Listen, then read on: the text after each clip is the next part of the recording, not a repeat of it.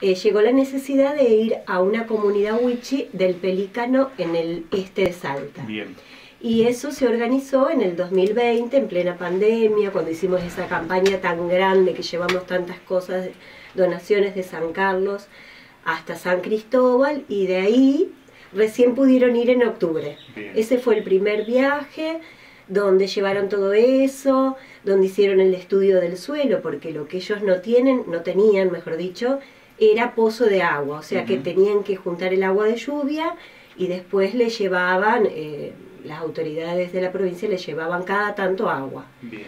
Bueno, después que se hizo el estudio del suelo, eh, mágicamente apareció una fundación de IPF y le hizo un pozo, Bien. que bueno, que nos eh, alivió porque la verdad que el costo era enorme, de mucho, de mucho dinero.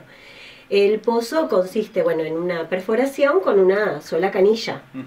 Entonces lo que se hizo en este viaje, que fue en Semana Santa, bueno, primero la campaña, eh, que acá en San Carlos la verdad que fue maravillosa, donde allá en el grupo, eh, que- formo parte porque es una asociación y soy socia y estoy en la comisión, también en San Carlos está Sonia Villalba y Jorge Bertina. Bien.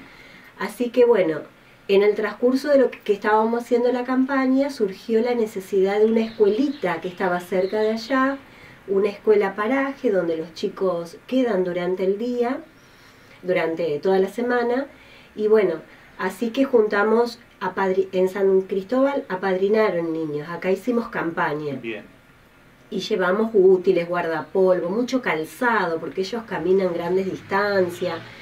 Bueno, eh, no sé qué más decirte, eh, guardapolvos te dije, eh, bueno, alimentos, golosinas, ju- eh, muchos juguetes, libros, eh, bueno, y, y cuando fueron en Semana Santa, el primer destino, el primer día que estuvieron allá, salieron cuatro camionetas, fueron nueve chicos. La Semana Santa pasada. Sí, ahora.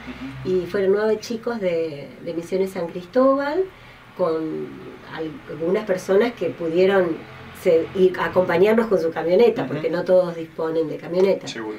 Así que bueno, con todo eso, en, un tra- en una parte del viaje se necesitan camiones, así que la provincia lo puso. Después camionetas 4x4 para ingresar. Bueno, la cuestión es que el primer día visitaron eh, esa escuelita que la verdad que se quedaron eh, así como re sorprendidos porque primero nosotros pensábamos que era cuestión de llevar, pero ellos nos dieron más de lo que uno da. Porque estaban los alumnos, los padres, los docentes. Así que bueno, ahí la- los chicos de San Jerónimo con todas las donaciones armaron para cada alumno en particular, porque tenían la lista, eh, todo lo que le correspondería para este año, desde guardapolvos, zapatillas y bueno, ropa también para la familia, golosinas. Y, y ellos nos espe- los esperaron, yo no, porque me parece que lo viví también, los esperaron con una comida típica. eh, lo, no era locro, bueno, eh, Tamales. tamales y, y otra comida, eh, canciones, bailes. Bien. Bueno, la verdad que ellos estaban re felices. Primero un acto donde los hicieron hablar, el director habló y bueno, estaban todos re felices. Es decir, Eh, que to- toda esa colaboración de San Carlinos que fue casi todo para eso, para esta escuelita, para esta escuelita se trasladó a San Cristóbal y de San Cristóbal hacia el Pelícano. hacia el Pelícano. ¿Y ahora cómo sigue toda esta historia? Y después algo de las donaciones se fue al Pelícano, Bien, porque bueno, ya tenían el agua. claro. Entonces esta nueva etapa que se empezó, porque no se terminó, era ir con alambres, con todas herramientas para huerta. Bien, Entonces, cuando se llegó al Pelícano, que se quedaron las chicas, porque ir y venir al Pelícano son tres horas desde Santa Victoria Este. Entonces, las chicas y los chicos, porque fueron varones también. Así que se llevaron carpas, se quedaron con ellos.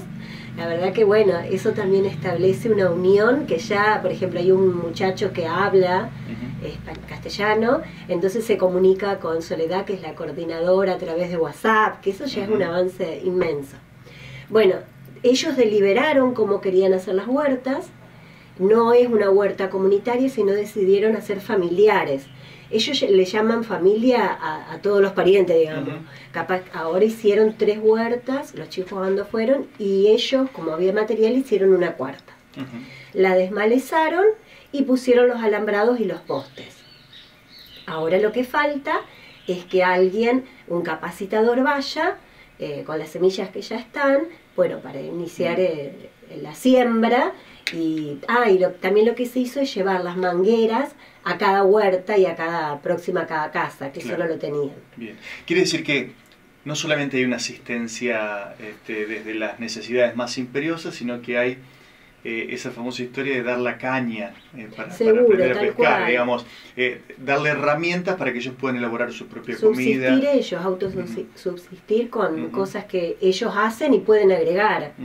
¿no? Y bueno, más adelante también hay otros proyectos más para que ellos agreguen para, qué sé yo, desde las artesanías o lo que sea. Pero ahora ya logramos el capacitador, que bueno, todo es burocracia, pero bueno, por ahora lo vamos a contratar nosotros y va a ir y les va a ayudar a sembrar y lo que necesitamos es que cada tanto vaya, porque Bien.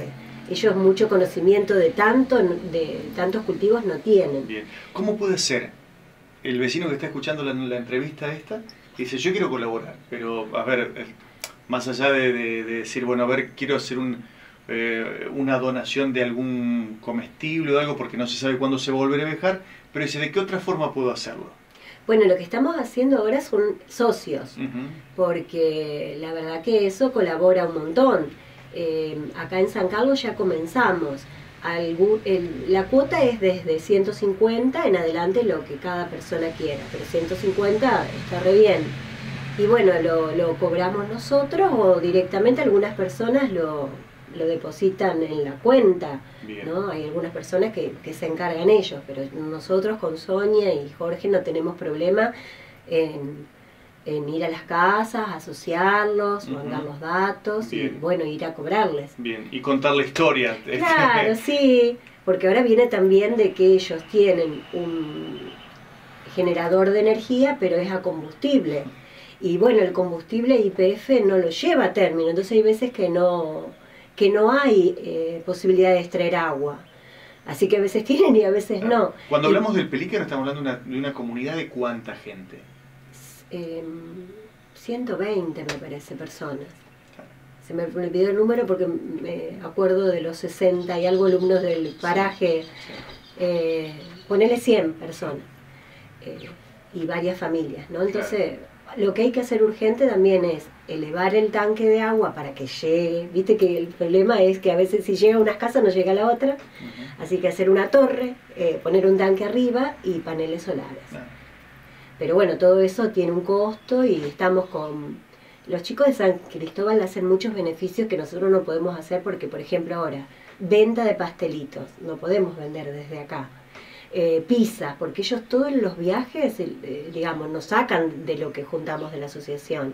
Lo hacen con ventas de pizzas, con cenas. Todo eso juntan para combustible, para alquiler de camionetas. Y bueno, nosotros desde acá lo que podemos hacer es socio y cuando hay algún bono contribución que prontito va a salir. claro. Qué, qué bárbaro.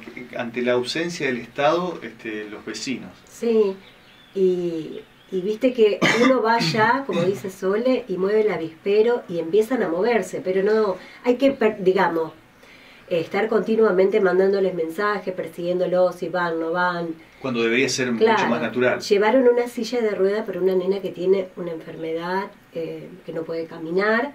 Y bueno, y todavía no lograron que, que, la, que la lleven a un hospital para diagnosticar bien qué es. Pero bueno, logramos de Silsa una silla de rueda para la nena, para que se movilice, porque siempre upa, upa, upa. Y bueno, ahora llegó que van a ir a verla, la psicóloga y todo al lugar, y después la van a derivar. Pero bueno, si, si no hay gente que se preocupa y que ellos vean, no hacen mucho. Viste que los pueblos originarios están así. En el camino encontraron cuatro comunidades más.